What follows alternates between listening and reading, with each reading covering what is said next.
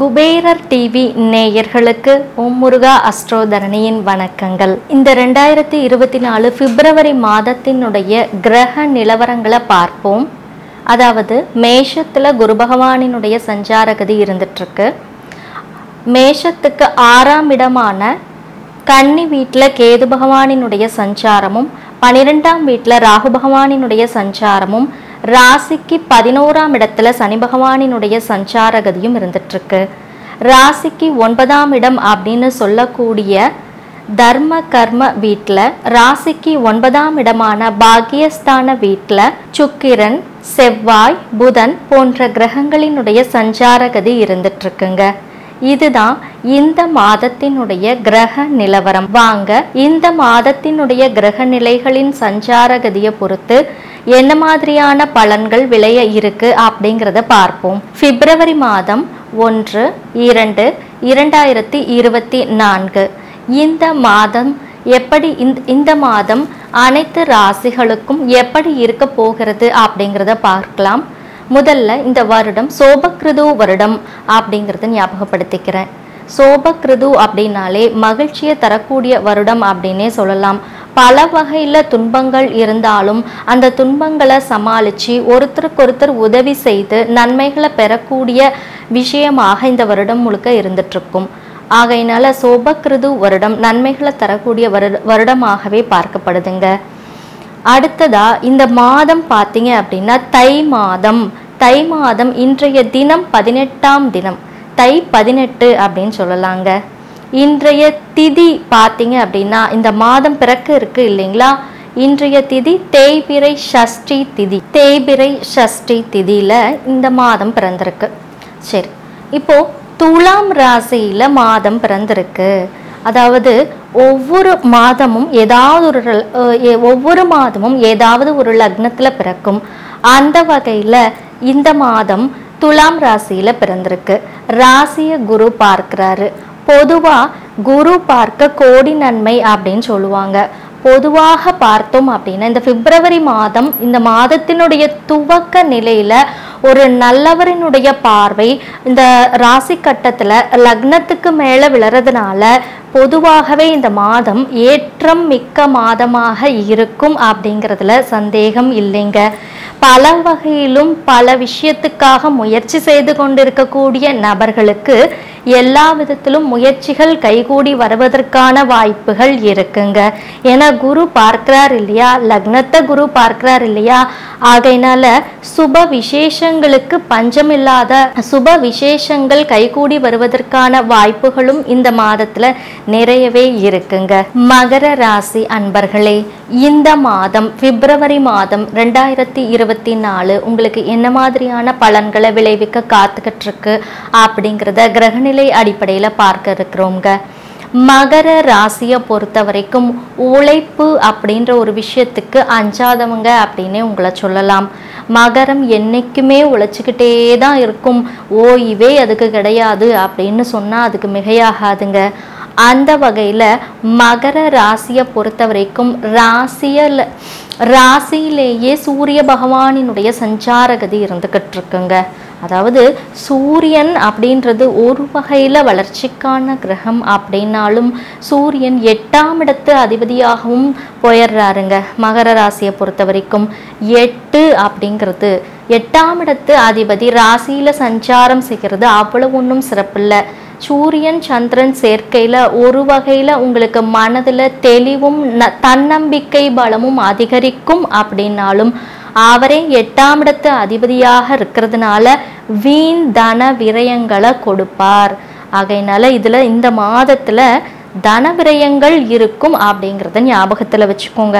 இதை விட கூடுதலாக இன்னொரு விஷயம் என்ன அப்படின்னா மகர ராசியை பொறுத்த மட்டும் பனிரெண்டாம் இடத்துல செவ்வாய் சுக்கரன் புதன் போன்ற மூன்று கிரகங்களினுடைய சஞ்சார கதி இருந்துட்டுருக்கு இதில் செவ்வாய் அப்படிங்கிறத இயற்கை அசுபன் அப்படின்னே சொல்லலாம். சுக்கிரன் சுப கிரகம் புதன் சூரியனோட சேரலை. ஆகையினால ரெண்டு சுப கிரகங்களும் ஒரு அசுப கிரகமும் இருக்கு பத்தாததுக்கு குருபார் குருவினுடைய பார்வை வேற உங்களுடைய ராசிக்கு பன்னிரெண்டாம் இடத்தின் மேல விழுகுது. ஆகையினால விரயங்கள் அப்படின்ற விஷயத்தை தடுக்கவே முடியாது. மகரராசி அன்பர்கள் இந்த மாதத்தை பொறுத்த வரைக்கும் நல்லா பிளான் பண்ணிக்கோங்க. ஏதாவது ஒரு வகையில் அதை சுபவிரயமாக மாற்றலாமா நெகை வாங்கி வச்சிடலாமா பேசாமல் அப்படி இல்லைன்னா வேறு ஏதாவது ஒரு வகையில் நம்ம அந்த இன்வெஸ்ட்மெண்ட்டை அதாவது விரயங்களை தடுக்கிறதுக்கு நம்ம என்ன பண்ணலாம் அப்படிங்கிறத யோசனை பண்ணுங்க. ஏன்னா உங்களை பொறுத்த வரைக்கும் அநேக விரயங்கள் அப்படிங்கிறது தெளிவாக இருக்குது ஏன்னா பன்னிரெண்டாம் இடத்துல இத்தனை கிரகங்களின் சஞ்சாரம் இருக்குது அப்படின்னாவே அதிகப்படியான விரயங்கள் இருந்துகிட்ருக்கும் அப்படிங்கிறது. சரி நல்லதே இல்லையா அப்படின்னு கேட்டிங்கன்னா ஏன் இல்லை? மகர ராசியை பொறுத்த வரைக்கும் நான்காம் இடத்துல குரு பகவானினுடைய சஞ்சாரம் இருந்துட்டு இருக்கு அப்ப புது வீடு போறது புது வீடு குடி போறது வீட்டில் புதுப்பிக்கிறது வீட்டுக்கு தேவையான உபயோகப் பொருட்களை வாங்கி போறதுக்கு உண்டான சூழல்கள் தென்படுறது. அதே நேரத்துல கடன் வாங்கித்தான் செய்யணும் அப்படின்ற ஒரு சூழலும் இங்க உருவாகுது. சரி அது ஒரு புறம் இருக்கட்டும். பத்தாம் இடமான தொழில் ஸ்தானத்தை குரு பார்க்கிறார் அப்படிங்கும்போது தொழில் ஸ்தானம் சிறப்படையுதுங்க. தொழிலுக்கு தேவையான முன்னேற்றம் அதாவது ஒரு கம்பெனி ஒன்று வச்சுருக்கீங்க அப்படின்னு வச்சுக்கோங்களேன். அந்த கம்பெனிக்கு தேவையான சரியான பொருட்களை வாங்கி அதை வந்து டெவலப் பண்ணி போடுறதுக்கான வாய்ப்புகள் இந்த காலகட்டத்தில் மகரராசி அன்பர்களுக்கு இருக்குது இது கூட ஒரு விரயமாக கூட நீங்கள் எடுத்துக்கலாம்.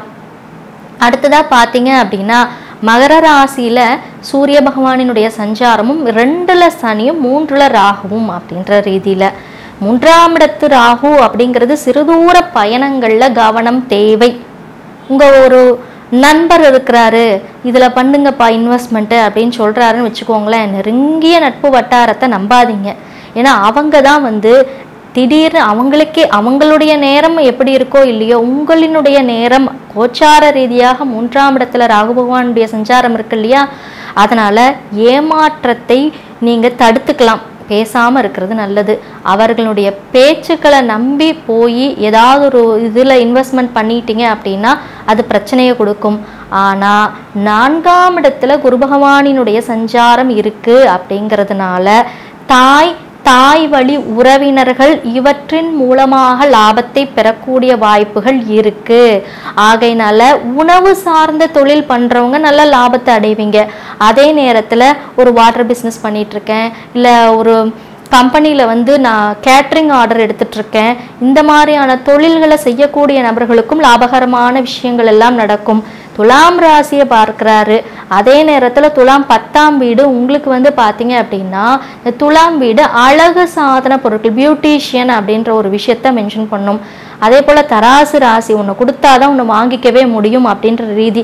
பொதுவாகவே நீங்கள் ரொம்ப கடுமையாக உழைச்சிங்க அப்படின்னா தான் நீங்கள் அடுத்த லெவலே போக முடியும். உழைப்புக்கு தான் உங்களுக்கு சரியான அந்த தராசு அப்படிங்கிறது சரியாக நிறுத்தி கொடுக்கும் அப்படிங்கிறது பலன்களை நிறுத்தி கொடுக்கும் அப்படிங்கிறது. அதனால் மகர ராசியை பொறுத்த வரைக்கும் இந்த காலகட்டத்தில் சற்று விரயங்களில் முன்னெச்சரிக்கையாக இருங்க. அதே நேரத்தில் எட்டாம் இடத்த அதிபதி லக்னத்தில் பயணிக்கிறாரு அப்படிங்கிறதுனால சந்திர லக்னத்தில் பயணிக்கிறாரு இல்லையா? அதனால் அநேக பயங்கள் இருக்கும். திடீர் சூழ்ச்சிகள் இருக்கும் எதிரிகள் தொந்தரவுகள் கெடுபடியாக இருக்கும். இவற்றையெல்லாம் வந்து நீங்கள் எப்படி உங்களுக்கு சாதகமாக மாற்றி வெற்றி கொள்ள போகிறீங்க அப்படிங்கிறதுல தான் உங்களுடைய கவனத்தை செலுத்தணும். அதே நேரத்தில் ஒன்னே ஒன்று ஒரு பகவான் தான் உங்களுக்கு சாதகமாக இருந்துட்டுருக்கிறாரு. இந்த மாதம் முழுக்க நீங்கள் குரு பகவானினுடைய வழிபாடு அதாவது வியாழக்கிழமை வியாழக்கிழமை கொண்டை கடலை மாலை சாற்றி குரு பகவான தட்சிணாமூர்த்தியை வழிபாடு பண்ணிக்கிட்டே வந்தீங்க அப்படின்னா துன்பங்களும் துயரங்களும் படிப்படியாக குறைந்துகிட்டே வந்து அல்லல்கள் நீங்கும் இன்னல்கள் மறையுங்க. ஸ்ரீ குபேரன் டிவியை பார்த்தமைக்கு நன்றிகள். மேலும் இது போன்ற தகவல்களை தெரிந்து கொள்ள ஸ்ரீ குபேரன் டிவியை சப்ஸ்கிரைப் செய்யுங்கள். மறக்காமல் பெல் ஐக்கானை கிளிக் செய்யுங்கள்.